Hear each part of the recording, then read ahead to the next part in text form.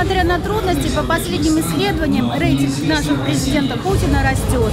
Как вы думаете, в чем причина и ваше отношение к нашему президенту? А, если можно, я воздержусь от этого вопроса по определенным причинам, хорошо? Конечно, конечно, что вы. А вы